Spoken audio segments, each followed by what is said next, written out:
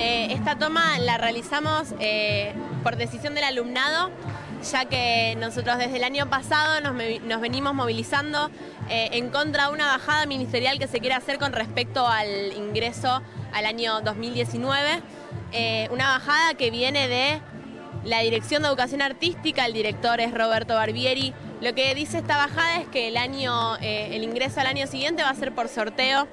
Esto hace que se pierda la posibilidad de que los chicos vivencien el cursillo diagnóstico, que es lo que se viene haciendo desde el inicio de la institución.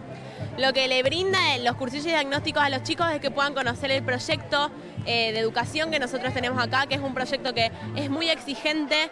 Eh, entonces, nada, esto que haya cursillo diagnóstico genera que haya menos deserción porque los chicos conocen realmente lo que van a hacer en la escuela y conocen y deciden si realmente van a querer dedicar sus cinco años de secundaria a una, a una escuela de arte, ¿no? Clara, lo cierto que cuando se dan los últimos meses de cada año, hay muchos chicos, muchos alumnos que quieren ingresar, sin embargo el cupo es muy limitado. Sí, bueno, el cupo es cada vez más limitado porque como hay cada vez menos deserción estudiantil, cada vez el edificio nos queda más chico. Un poco también lo que viene la mano de este, de este reclamo por el NUAR sorteo y los cursos diagnósticos es mejores condiciones edilicias dignas.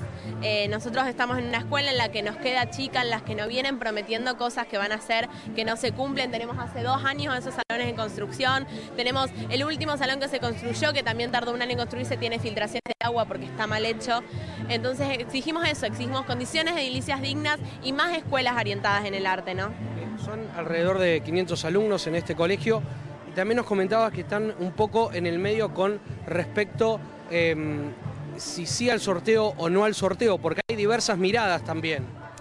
Bueno, sí, nosotros lo que le decimos es no al sorteo, primero porque el sorteo en la nota eh, múltiple que nos bajaron desde el ministerio tiene un orden de prioridad que viene por hijos de docentes, hermanos de alumnos y después la gente que está interesada en ingresar.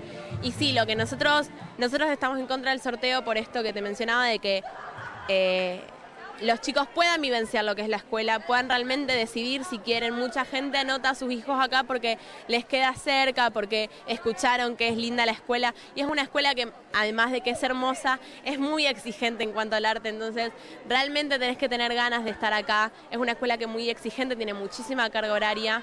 Entonces, sí, nosotros estamos en contra de los cursos, en contra de los sorteos, porque queremos que los chicos tengan la oportunidad de conocer la escuela antes de ingresar. Clara, ustedes están manifestando desde la semana pasada.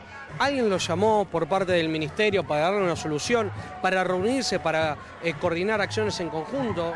No, nosotros el jueves pasado realizamos una movilización hacia la sala Labardén, donde se encuentran las oficinas del Ministerio de Cultura e Innovación no recibimos respuestas, nadie nos recibió en ninguna oficina ni nada. Nosotros dejamos, entregamos eh, una carta escrita por el centro de estudiantes eh, esperando respuestas, pasó todo el fin de semana, no recibimos ninguna respuesta, entonces hoy a la mañana realizamos una asamblea con todo el alumnado donde se votó por mayoría realizar una toma simbólica. Una toma simbólica quiere decir que tomamos la escuela, pero que no se dejan de tener ni exámenes ni ensayos para las muestras de las especialidades. ¿Hasta cuándo va a seguir esta toma? ¿Se van a quedar aquí a dormir dentro del establecimiento? Bueno, sí, nosotros hoy vamos a, permanecer todo el día dentro de la institución y mañana a la mañana realizaremos otra asamblea. Dependiendo de si hoy obtenemos o no respuestas, veremos si seguir o no con la toma. La última, ¿quién tendría que llamarlo ustedes para solucionar esto? Bueno, nosotros en realidad esto es más que nada una bajada del ministerio, o sea, es un reclamo que va hacia el gobernador, hacia la Chiqui González y hacia Roberto Barbieri también. Muchas gracias, Clara. Como Muchísimas gracias a ustedes.